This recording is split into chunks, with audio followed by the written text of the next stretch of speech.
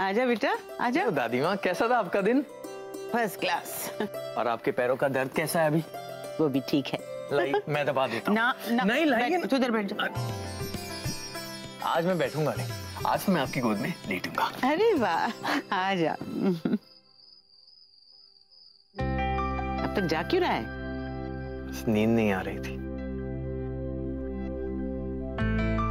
दादी माँ हम्म। बचपन से मेरे सारे दोस्त हाई फाई फैमिली से रहे शायद मेरा कोई भी दोस्त गरीब या फिर लो मिडिल क्लास फैमिली से बिलोंग नहीं करता था। ऐसा क्यों? वो तो इसलिए कि तुम्हारा माहौल ही वैसा था ना।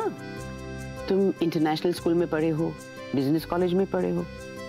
वहाँ की फ़ीस कोई मिडिल क्लास या लोअर मिडिल क्लास के बंदे तो अफोर्ड नहीं कर पाते हैं ना?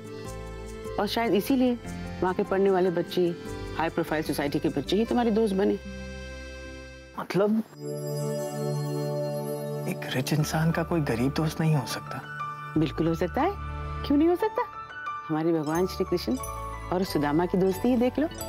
कृष्ण तो बहुत बड़े राजा थे लेकिन जब उन्हें पता चला कि राजमहल के बाहर भिक्षु बने उनके दो सुदामा खड़े हैं तो भगवान बिना खड़ा ही अपनी गद्दी छोड़ दौड़ कर गए उनसे मिलने।